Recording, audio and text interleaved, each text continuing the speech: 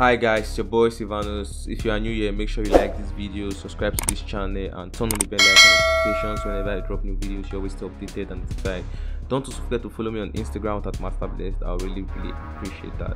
So um, we already know that Wizkid lost his two Grammy nominations, and yesterday I posted a video about that, and I want to make a quick apology about yesterday on yesterday's video. I, I made use of a word that didn't sit right with a lot of you guys, and you know I apologize for that.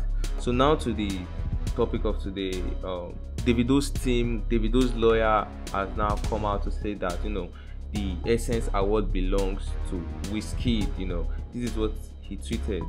I don't know much and don't speak much on these things, but we all know that award belongs to Essence. They gave the word an item. Guys, what do you think about this? Do you, do you agree with 30BG? So I feel the comment of, from is from Davido's lawyer. I feel you know even Davido isn't really happy with this, and everybody is really sad about this. But there are still some individuals who are happy about this and happy that um, didn't win the, the, the award. Let's take a look at an example of that individual. Girl, I need you now. We have to go go Grammy. We go World Cup. For year. Song. Failure.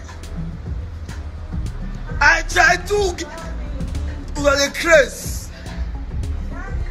Something as essence of what? Essence of no sense.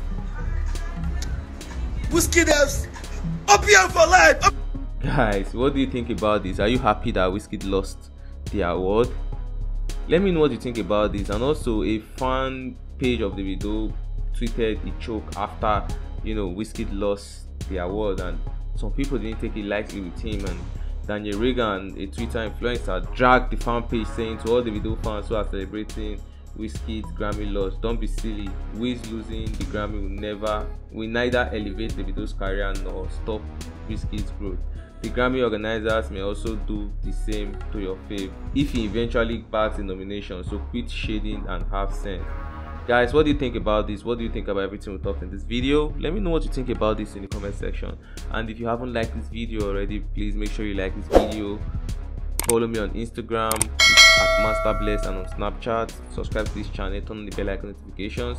Take care stay safe. I'll see you later for another interesting video. And peace out guys